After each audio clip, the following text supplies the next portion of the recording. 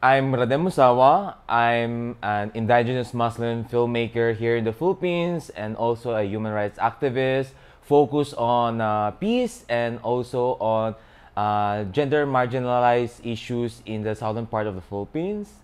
And yeah.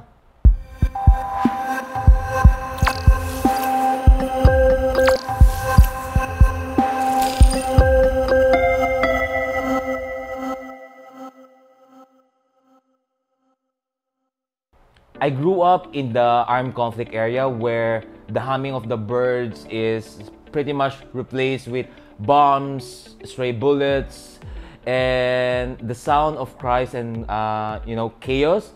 So my advocacy way back was really focused on Mindanao, indigenous people, the Muslim morals, and me being an openly uh, gay person because all of these really are knocking close to home. And for, for the last 10 years, I've been doing a lot of advocacy related work, being part of a lot of organization, doing uh, programs for the gender marginalized groups, the indigenous people, and the Muslim people in the southern part of the Philippines. And later on, uh, it was the people who started calling me human rights activist. I was like, okay, whatever, whatever you say, okay, let's continue the work. The show must go on. There's so much to do and so much things to correct. And whatever you feel, go out, dress up, and do what you have to do. And do what you think that is right for you and right for the community that you are fighting for. We've been providing uh, shelter for the uh, abandoned uh, members of the LGBT group. We still continue to provide sexual health program. At the same time, we still provide paralegal service to those members of the LGBT who are facing abuse by the authority in Mindanao. And at the same time, we also provide like relief goods because there's a lot of members of the LGBT in Mindanao who works in an informal economy. So during the pandemic, they are the one who are, who are greatly affected. So we just try our best to uh, bring all our allies together, our friends, our communities, and try to persuade the local government and the national government and even the interna- international organization to uh, to help out, to help whatever they can give. May, may it be donation, may it be in an access to a certain resources. All of these small things that they have contributed have created a bigger program for the Mujer LGBT, and that has reached a lot of uh, members of the LGBT community, not just in Zamboanga region, but also in Basilan. I have been targeted left and right by many communities, not just with people who are against with the LGBT community, even the LGBT community itself and the human rights defenders community itself. Four years ago, I started getting a lot of death threats from the Muslim communities in Mindanao because I have been pushing a lot of programs for the abused members of the LGBT community who are from the uh, who are from you know in the Muslim region or who are Muslim itself. The Philippines is generally a Catholic dominating country and the Muslim community are the minorities and we are and the Muslim people are being perceived internationally especially in the Philippines as someone who are you know aggressive who are not into human rights who are not into equality. A lot of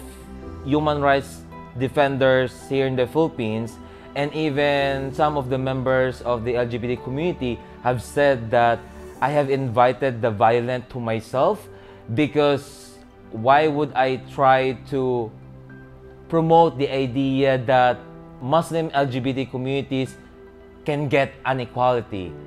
There are times as a human rights defenders that I try to question myself if am I doing the right thing? Am I doing the things that benefits everyone? Am I doing something that really create a greater impact to the community that I fight for? And I think this question helps me assess of what needs to be done and what more I could give in a way. I think that's the most im- important part of having or surrounding yourself with right people and right organization that truly supports what you do. To be able to give you that advice whether you are doing the right thing or not because sometimes you just cannot expect to know everything yourself. I've been invited to a lot of uh, human rights forum focused on the LGBT and indigenous people and the Muslim people here in the Philippines. And every time I attend those forums, it feels like I am just there because they just want me to be there.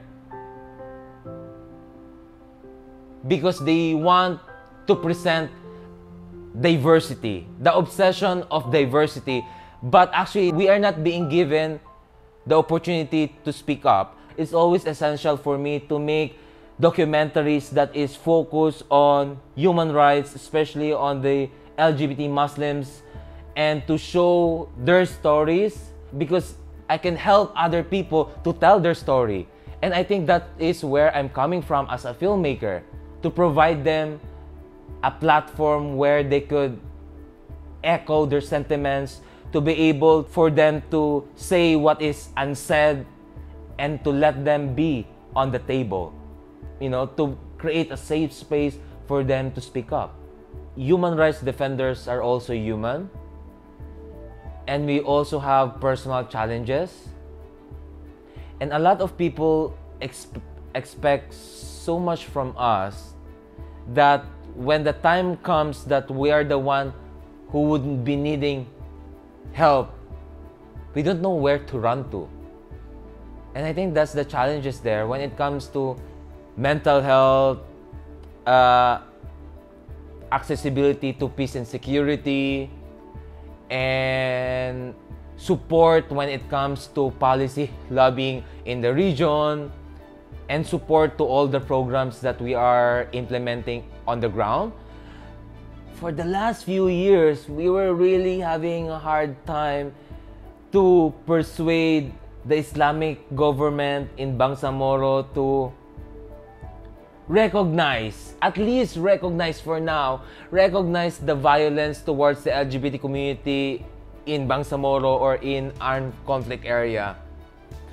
And just last year, we were able to achieve that where the Islamic government have passed a resolution recognizing this violence towards the LGBT community in the Muslim dominated area. And I think that was really a monumental achievement that we have been trying to lobby and fight for in Mindanao. But now there are these small groups that are, you know, organizing their own groups and, and, and, and, and trying to voice out. And I think those are the small victories that I think I can be proud of that for the past few years we have achieved. And I just want to say that the youth is the future. We cannot expect the old people to do our job, but I could expect that the future will be bright for the LGBT community in the Muslim dominated region.